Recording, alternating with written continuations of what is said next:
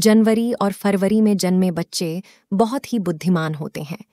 ये अपने आप पर यकीन रखते हैं और बचपन से ही अपने जीवन की डोर अपने हाथों में ले लेते हैं।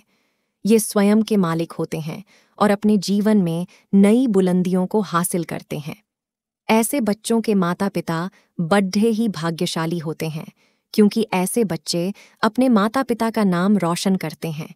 क्योंकि उनके जन्म के समय ग्रह और नक्षत्र ऐसे भाव और खंड में रहते हैं, जो उन्हें इस प्रकार का फल प्रदान करते हैं। मार्च और अप्रैल में जन्मे बच्चे क्रोधी स्वभाव के होते हैं। ये बच्चे बात बात पर गुस्सा करते हैं और अपने आप को सबसे ज़्यादा श्रेष्ठ सिद्ध करने की कोशिश में लगे रहते हैं। ये अपने भाग्य को बनाने को बनाने के लिए किसी का भी नुकसान करने से पीछे नहीं हटते। यह लोग बहुत शक्तिशाली भी होते हैं। यह अपने करियर को बनाने के लिए अन्याय का सहारा लेते हैं और उन्हें इस बात पर जरा भी अफसोस नहीं होता, क्योंकि उनके जन्म के समय ग्रह और नक्षत्र ऐसे भाव और खंड में रहते हैं जो उन्हें इस प्रकार का फल प्रदान करते हैं। मई और जून में जन्मे बच्चे भाग्यशाली नहीं होते, ऐसे बच्चे दिल के साफ़ होते हैं और दूसरों की सहायता करने की कोशिश करते हैं, लेकिन इनका भाग्य इनका साथ नहीं देता। ये अक्सर लोगों के द्वारा दिए जाने वाले धोखे का शिकार बनते हैं और व्यापार में इन्हें नुकसान उठाना पड़ता है, क्योंकि उनके जन्म के समय ग्रह और नक्षत्र ऐसे भाव और खंड में रहते हैं जो उन्हें इस प्रकार का फल प्रदान करते हैं। यह बच्चे अपना भविष्य स्वयं ही सुनिश्चित करते हैं चाहे इसके लिए उन्हें धर्म के मार्ग पर चलना पड्डढ़े या अधर्म के मार्ग पर, क्योंकि आम के पेड़ पर आम ही फल लगते हैं।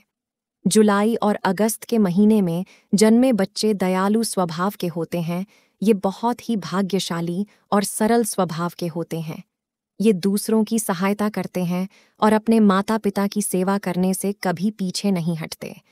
इस महीने में जन्मे लोग दूसरों की नज़रों में महान बनने का प्रयास करते हैं और अक्सर इन्हें सफलता भी मिलती है। सितंबर और अक्टूबर में जन्मे बच्चे आस्तिक होते हैं। ये ईश्वर पर भरोसा रखते हैं और ईश्वर की भक्ति में विश्वास रखते हैं। ये ईश्वर की भक्ति में ज़्यादा समय लगाते हैं और अपने भाग्य को बनाने के लिए कभी छल कपट का सहारा नहीं लेते।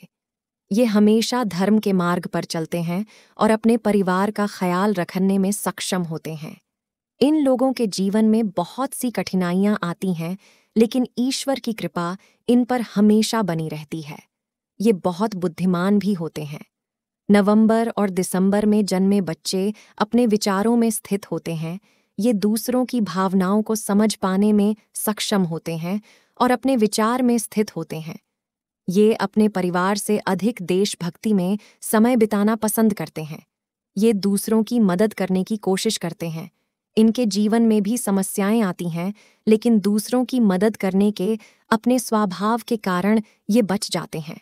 ये अपने माता पिता की सेवा करते हैं और उनके आशीर्वाद में विश्वास रखते हैं।